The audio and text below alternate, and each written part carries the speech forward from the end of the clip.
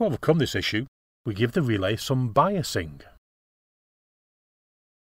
Biasing is an additional check that we do before operating the relay and make sure that the relay is genuinely seeing a fault rather than just a mismatch between the current transformer outputs.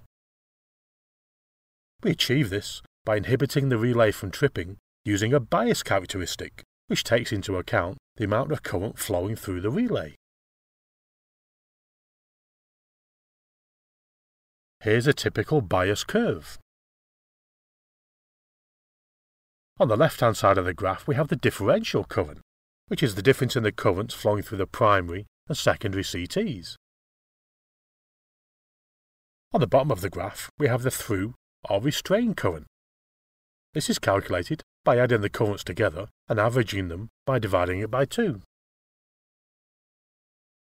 Below the curve we have the don't trip zone, and above the curve we have the trip zone. Let's now see how this works in practice. Here we have our transformer from before. We've now added a new winding called the bias winding. This winding measures the value of the through current.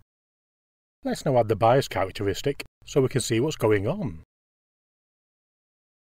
Let's now energize the transformer. As the primary and secondary currents go up and down, we move around the bottom of the don't trip zone. Let's now add a fault on the transformer inside the protection zone.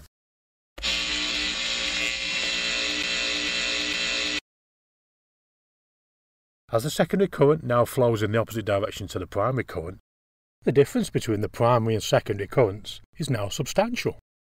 We quickly move into the trip zone, the relay operates, and indicates a transformer differential fault. Let's now remove the fault and reset the relay. Let's now apply fault external to the protection zone.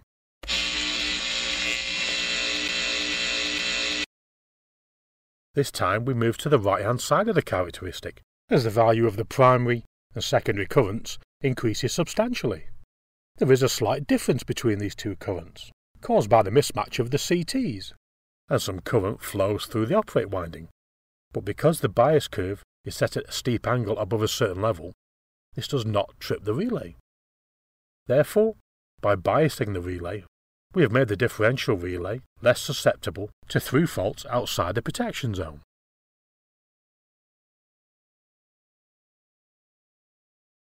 Transformers feed power into the network from the generating stations and therefore also feed the network with the high currents that occur when a fault happens on the network. If transformer differential biasing wasn't used, all of the currents that pass through the transformer on the way to the fault on the network would destabilize the transformer differential protection and trick it into believing that the fault was actually on the transformer. The slope and pickup values of the biasing curve can be set very precisely making it very easy to identify whether the fault is on the transformer or not, without adding too much additional time delay.